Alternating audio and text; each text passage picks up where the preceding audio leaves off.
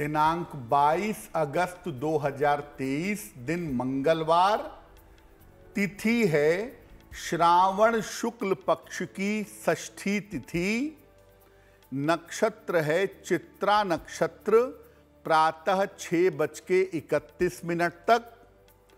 चंद्रमा तुला राशि में संचरण कर रहे हैं।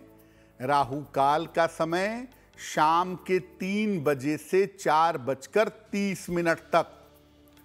उत्तर दिशा की तरफ़ यात्रा करने की मनाही है, लेकिन अगर यात्रा करना ज़रूरी है, मजबूरी है तो जरा सा गुड़ खाकर और भगवान का स्मरण करके यात्रा करेंगे तो मुश्किल से बचे रहेंगे।